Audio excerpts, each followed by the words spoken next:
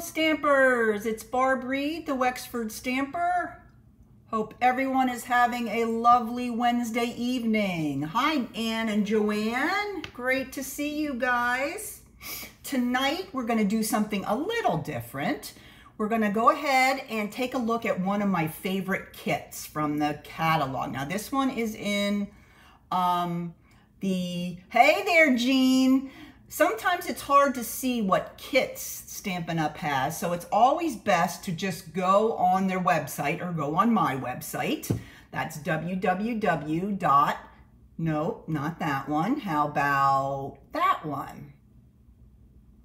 www. dot barbarareed.stampinup.net. That will be the um, my official online store. Check up and on the top and just click on the, hi Dawn, hi Mary, hey, and just click on the kits tab and you get to see all the kits that are available. And this is one that I've really, really enjoyed. And um, I decided I liked it because they had slimline cards in it, which is a favorite of mine.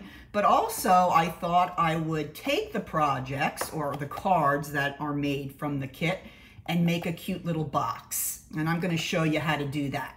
First, I'm gonna put together one of each of the cards, okay? This is what the kits look like when they come to you.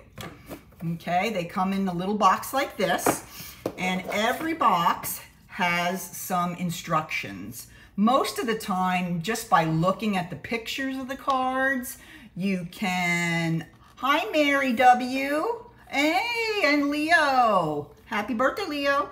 You can tell kind of how to put the cards together, so it's not really that difficult.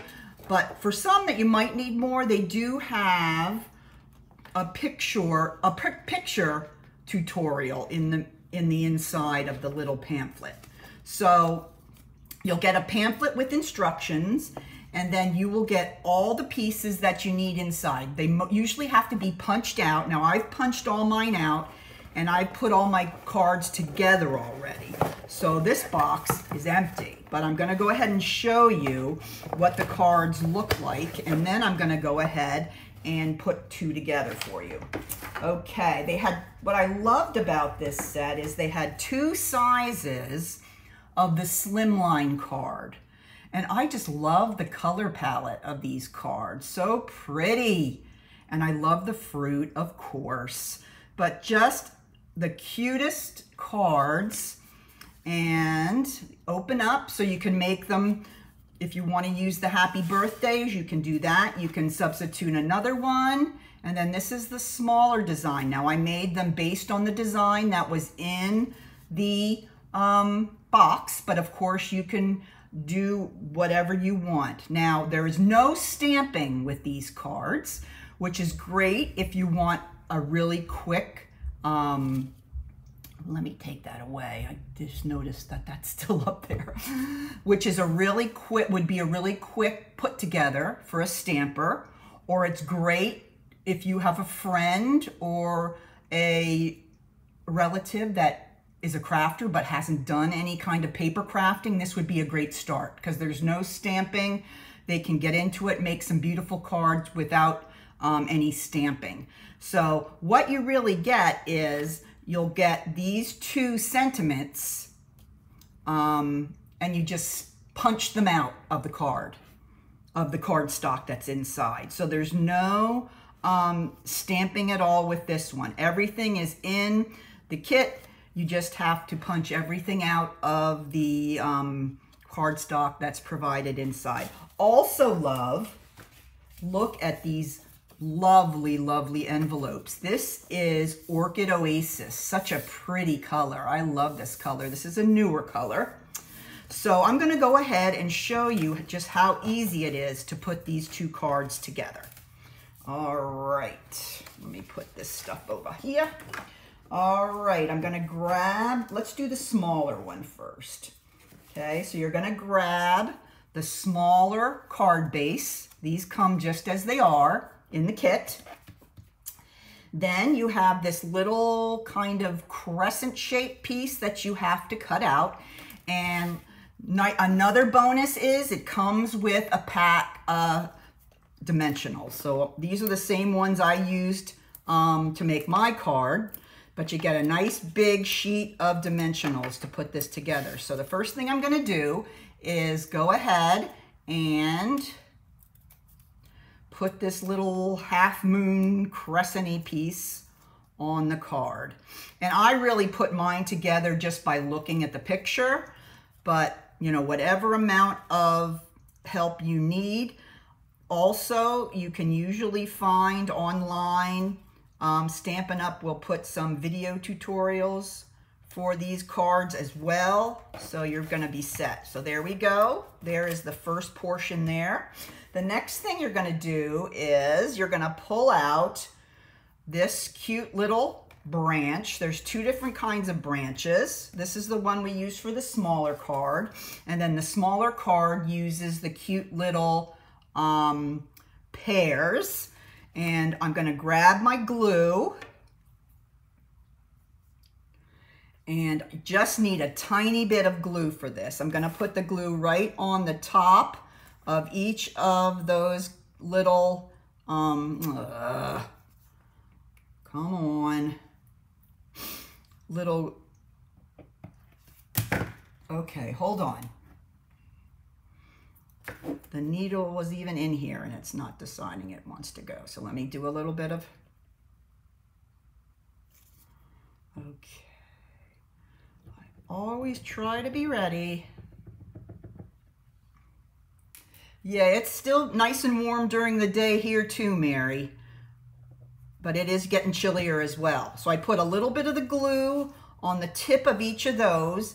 And then I'm just going to add the branch just like that. Just so it touches into that glue. Okay, and then what I thought was super cute, they had these little, um, like little pear blossoms that you can punch out of this piece of vellum.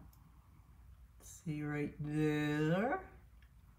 And what I did is I just kind of bent the little uh, petals up a little bit. And then I put a dot of glue right here. You can kind of put it anywhere you want. Now, what is going on with my glue today? There we go. And then I just took the little pear blossom and put it on there.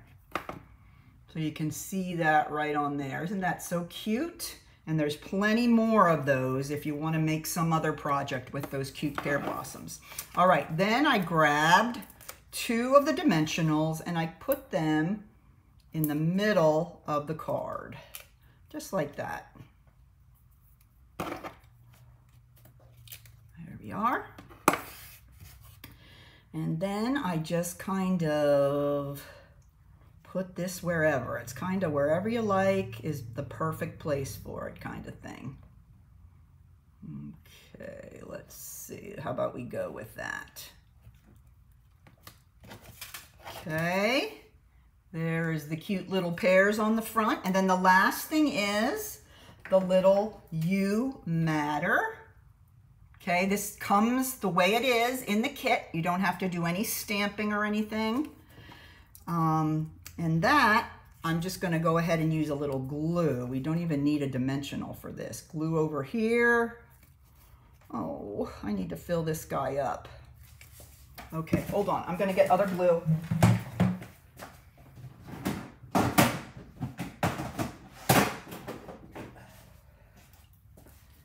I'm back. Never fails. For the live stream, I run out of glue. Okay, I'm back. All right, here we go. Now we're gonna go ahead and put a little glue here and a little glue here. And then this kind of straddles across to both spots. And there's the first card. Isn't that so cute? So quick and easy. Somebody that's new to card making would really, really love it. Hey, Brenda. Hi, Deborah. Welcome. Hope you guys are having a great Wednesday. I am just sharing one of my favorite card kits. All right, here's the larger card. Let me show you the sample I made already of that. This is so pretty. Just such nice, vibrant colors. Just love it. All right, for this one, you have this little section here that you're going to place on your card. Now I'm going to turn that over. I'm to grab a bunch of dimensionals for this. I know, I kind of get away from the, the um, kits as well, but this is such a great gift to give to somebody who loves to send cards because they're unique cards because they're the um, slimline cards. And then you can tell her that you made them and maybe get her into card making as well. So it's a win, win, win, win, win, you know? But yes, there's there's card kits that require no stamping. There's card kits that um, have little stamps that come in them and they give you a little ink pad, ink um, pad to use.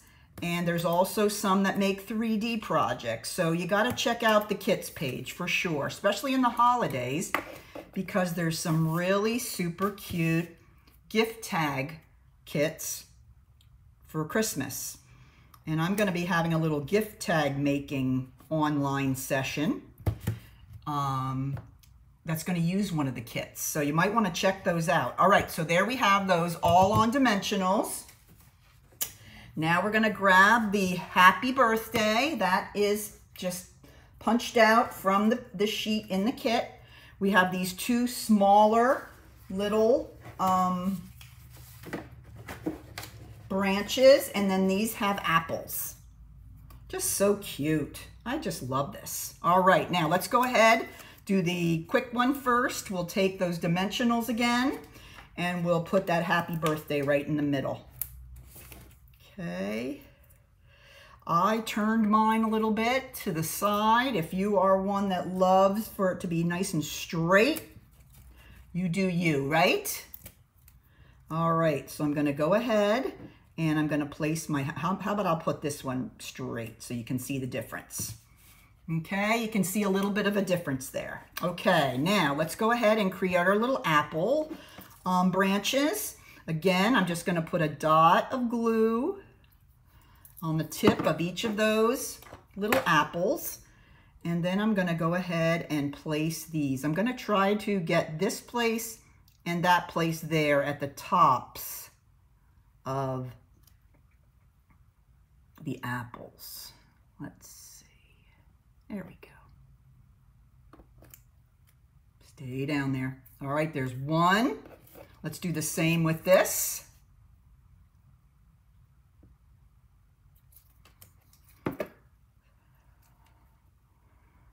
And there's two. All right. Now, I'm going to go ahead and put these in. Now, the way I did it, I slid these in the little um, branch part in underneath the um, larger piece that I put up with dimensionals and so that the apples would be towards the middle of that circle. Okay, so what I did, I just took these here and I just slid the branch up a little bit and then I just pressed down with the apples in center a little bit. Okay, let's do the same with the second one. I'm Gonna put a dimensional on the back. Slide it up inside there. And push down on your dimensional. There you go. Now I did also put two of the little blossoms on this one. So I'm gonna punch out two of the little blossoms from the vellum sheet. This is the vellum sheet that you get. Lots more on there if you wanna use them for another project. Okay, I'm gonna go ahead and pick them up and just bend in the petals a little bit, give them a little bit of dimension and the other.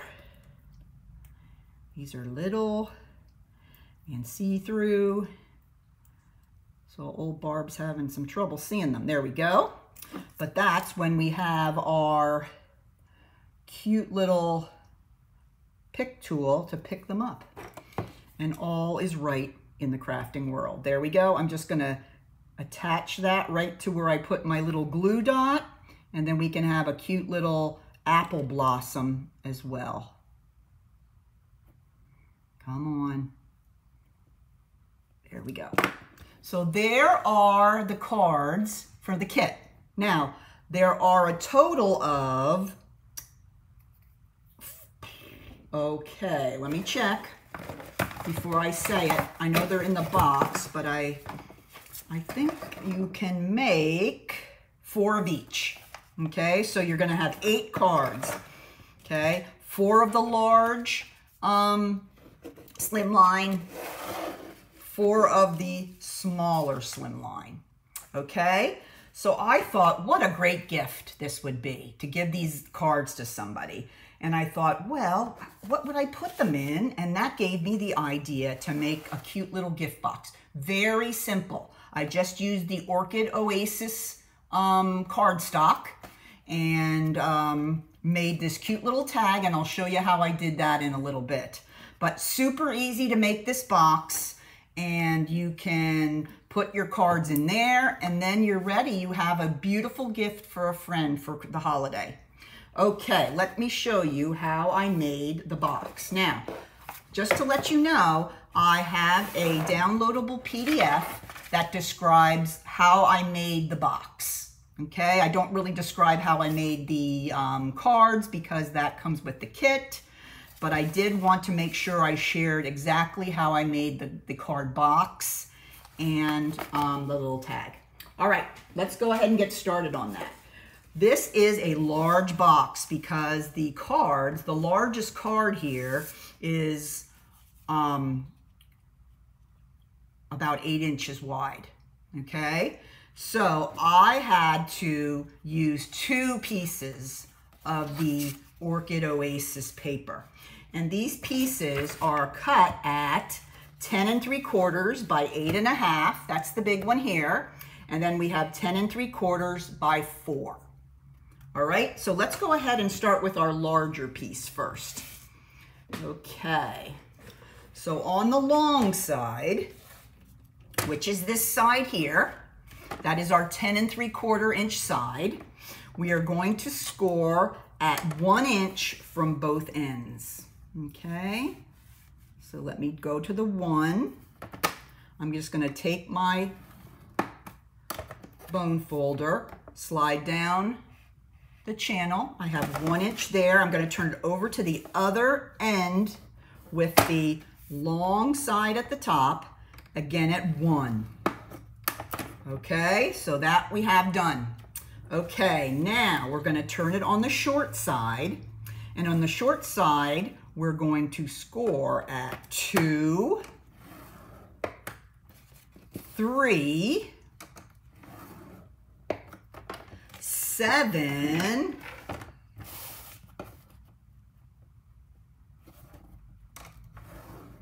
and eight. There we go. All right. Oops. We have the second piece. Okay. On my four by 10 and three quarter inch, all we have to do here is score at one inch from each end with the long end at the top.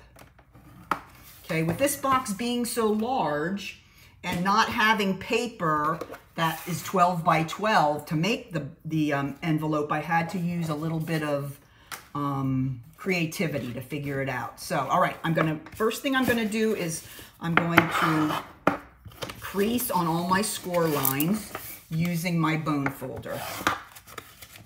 Hope everybody has one of these bone folders. They're the best thing since sliced bread when you're making cards. They make that crease nice and um, crisp and all your 3D projects will come together much ni more nicely than you just using your fingers and squeezing and trying to get a nice crisp line. Now I'm going to bring in my smaller one and this just has the two at the end. Okay. All right, let's work on the larger piece first, and I'll bring in my template from the larger piece. Okay, this is what we're going for with the larger piece. Let me move this so I can move this up here. Okay, so you want to hold it in the landscaped position. Okay, and you want to make sure when you're holding it in the landscape position that that thin one half inch panel is at the bottom. Okay, if that is true, then you're ready to go. All right, first thing you're gonna do is you're gonna go in from the right-hand side to the first score line, vertical score line, cut through the first horizontal to the second, okay? Then you're gonna cut off that tiny little piece and you're gonna create a little tab with that second portion just like this here. See, right there is what we just did. And then I always like to wedge that off a little bit to create the tab because this we're gonna stick to something else. Then we're gonna go to the opposite side and do the exact same thing. Up to the second horizontal score line. We're going to cut off the tiny rectangle on the bottom and then we're going to wedge it to create our cute little tab. And then we're going to create the little tab here for this bottom part. All right, so that is the all we need to do on the bottom. Okay, now let's turn it the other way. Okay, now what we're gonna do, and I'll turn my template the other way so you can see okay? This is going to be our flap that comes over the front of the box, okay? So again, you're going to go up the vertical score line through the first horizontal and up to the second, okay? So we're gonna do the same thing as we did on the opposite end. We're gonna cut this off and then we're going to make our little tab. Exact thing that we did before. Let me make this a little straighter there. That's better. All right, then we're gonna go over to the other side, do the same thing again. Okay, up through that first horizontal to the second, cut off the bottom rectangle, and then create our tab. And that's it. Okay, so now, let's turn it this way. Looks just like our template. All right, now, when you finish, you wanna lay it on your work surface with that um, thinner end down, that half inch little tab, because we're gonna go ahead and glue something together. All right, now, this is the second portion no cutting for this. This is just gonna go as is, all right? So first thing you're gonna do is you're gonna go ahead and get your Tombow and put a very light line of glue along that half inch panel. And I'm gonna turn it this way. I'm gonna go ahead, making sure to line up the edges of both pieces so they're the same. I'm going to glue this piece onto the box, lining it up to the edge of that one half inch panel. Okay, we had to do that because we didn't have enough paper with a regular eight and a half by 11 piece. So this allows us to be able to put the box together. Okay, now we're almost finished. Next thing you're gonna, we're gonna do is we're going to put glue on this, these tabs. We're gonna fold them in and then we're gonna go ahead and put a little glue on those. These are gonna glue to the inside of our smaller panel. Okay, so we're gonna go ahead and fold that in and it's actually, I'm sorry, folding to the large panel, but the bottom of the box. Here, maybe if I hold it this way, you can see. Folding that in and down. So we're starting to create our box.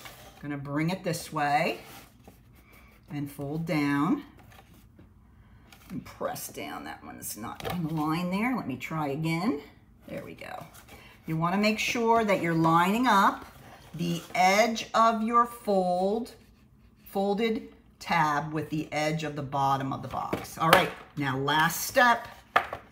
You wanna open that bottom portion nice and wide and you're gonna put glue on the inside of those side panels. Then you're just gonna fold it up and fold it together. Then I'm gonna take my finger or you can grab your bone folder and go inside.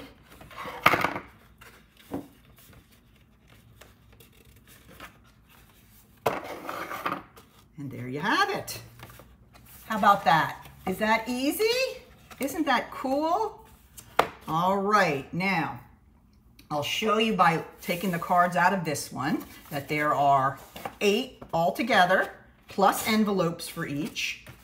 And I'm gonna put these back in so to show you that all eight will fit.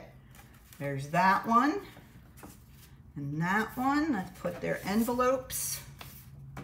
And then these guys are on the front, plus their envelopes.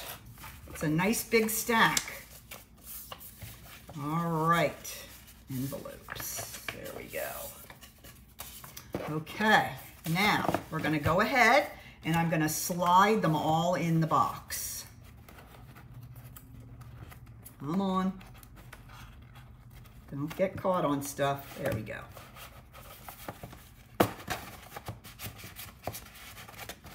And there you have it, all fitting in the box. I just put the smaller ones in front of the larger.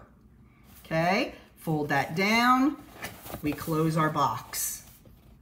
Okay, now last thing, and this was kind of a trick I came up with. You'll notice in your kits, since these kits are international, you're gonna have some things that come in them that you really can't use because I have no idea what that means probably you matter. Yes, all the, if it's all the envelopes, all the cards, yep. And I probably won't use these, but I came up with a trick. It's one of those that you you think about while you're sleeping or you're in the shower. I just glued two of these front to front and it created a little white tag that I could use. See, now I have my own tag that I can use.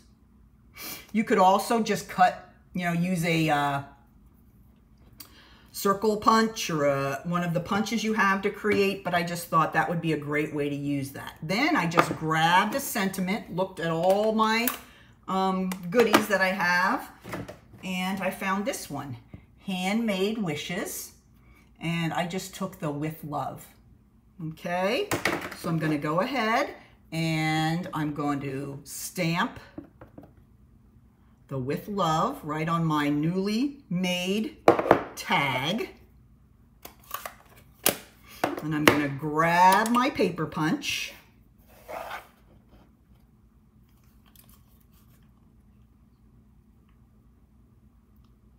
Give it a punch.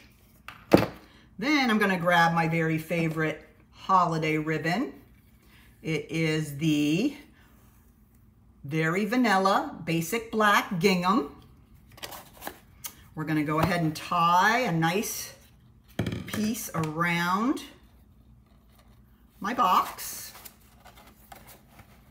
Okay, what I usually do is I'll do an over under and then I'll go to the end of the ribbon and I will thread on my tag. Come on, there it comes. Okay, I'll cut a little off, just like I always re recommend to everyone else. I should do that too, huh? Cut a little snip off so that you have more of a point and it's easier to get through. I know I've recommended that. I gotta do do what I say. There we go. So now I have that and I just press that all the way down to help keep that ribbon in place right there. And then I'm gonna tie my bow. And I just love the gingham. It just goes with everything. So there's my bow. And you notice I kept it tied. I, I kept it attached to the roll. So then I don't quite waste as much that way. Then you don't have to make any guesses on how much you're gonna need. Okay, then I'm just gonna cut off. And there you have it. There is your gorgeous box of cards. Wouldn't any of your friends just love to get that for a gift? So remember, if you do end up getting the kit and would like to make the box, it will be available on my blog. Um, as soon as I finish here, I will post everything on my blog. And even if you decide to make some of your own slimline cards, this would be a, a great box to use. So don't forget um, to always go on your on the Stampin' Up website and check out the kits.